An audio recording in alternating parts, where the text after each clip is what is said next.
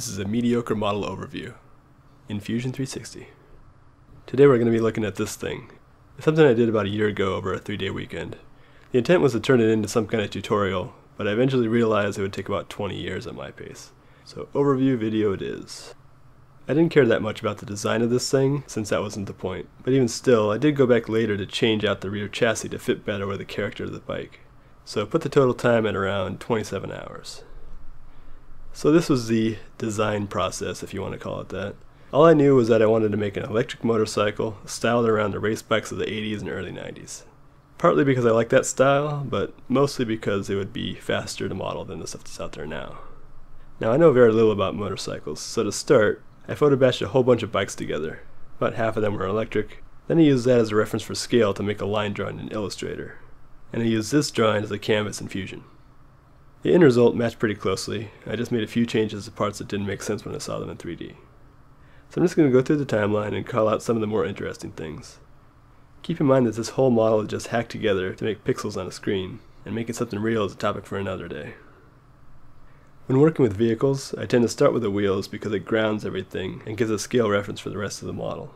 The tread's kinda interesting because it's staggered, so I mirrored half of the tire then just rotated the whole body by 360 divided by twice the number of treads, then combined it all back together.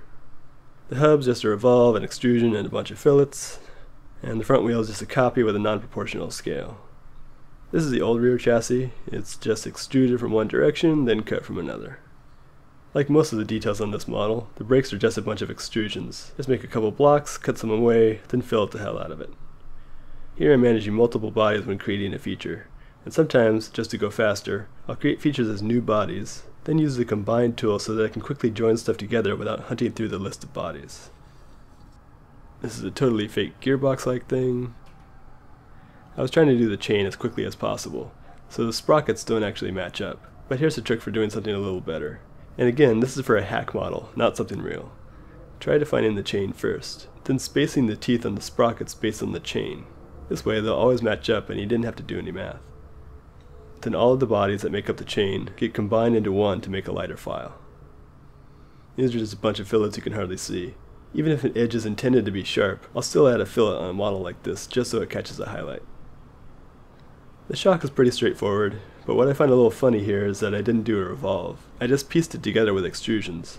I don't actually remember why. This just shows there are multiple ways to do any one thing.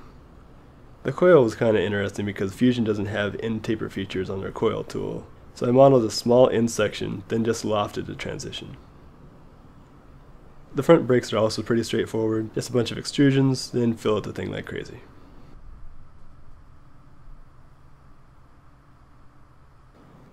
Same story with the handles.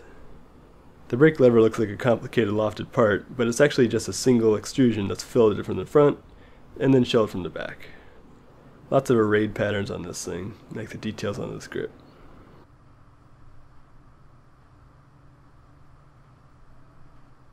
These are just some internal details that you'll barely be able to see when the model's done. Some electric bikes have the motor mounted high with the battery below, so that's what I did here. It just happens to look like a cheese wheel or something. But it's supposed to get covered so I didn't care. The frame was built using the pipe tool. Here's a quick dirty trick. Let's say we want to make a joint that looks like it's been welded, then ground down to a smooth blend. An easy way to do that is to round the ends before combining. This gives a profile that's easy to fillet. Just to show how hacky this model is, the frame isn't even attached to anything, it's just floating in space.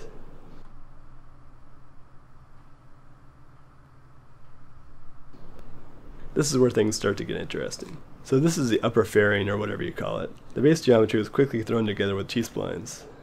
It's not a very clean construction, but you can see how this was defined. Ring around the detail. So we have 1, 2, 3, and 4 as our driving rings, then everything else is just filling the gaps and this edge loop was given a creased edge that will be filleted later. Now out of sculpt mode, I used an extruded surface to trim and add dimension to the part, then thickened it and added some details. So this lower fairing was done with a completely different approach. Yes, it started with T-splines in sculpt mode, but it's more of an overbuild surface modeling approach.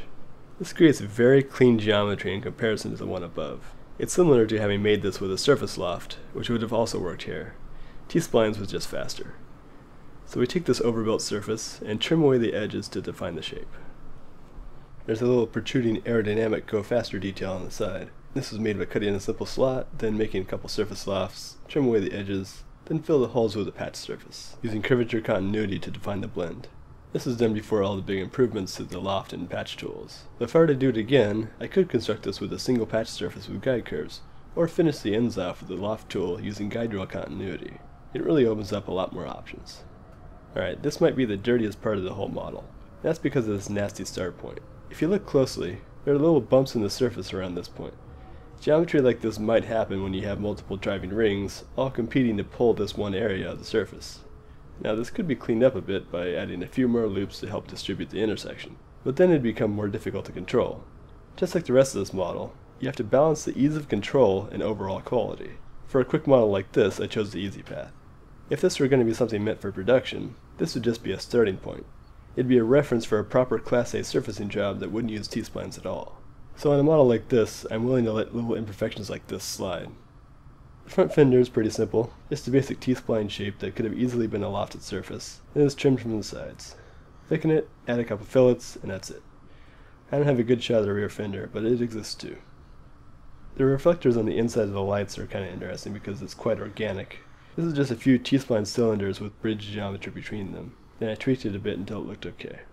I wasn't too worried about the edges of this surface, I just made it go slightly beyond the walls of the light to hide any weirdness. The rear lights are basically shelled extrusions with some ribs on the inside.